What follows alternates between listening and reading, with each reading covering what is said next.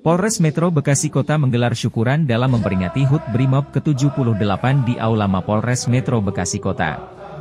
Momen syukuran ini dipimpin Wakapolres Metro Bekasi Kota AKBP Dhani Arianda, serta turut hadir pejabat utama Polres, personil ex-BRIMOB Polres, Purnawirawan ex-BRIMOB. Dalam kesempatan tersebut, Wakapolres memberikan bingkisan untuk Purnawirawan ex-BRIMOB dan memberikan nasi tumpeng untuk anggota BRIMOB termuda. Saya ingin mengapresiasi setiap anggota berjuang yang selalu siap sedia menjalani tugas dengan penuh tanggung jawab dan profesionalisme. Mari kita gunakan momentum nonton ini untuk terus bersatu padu, meningkatkan solidaritas, dan mempererat tali saudara di antara kita.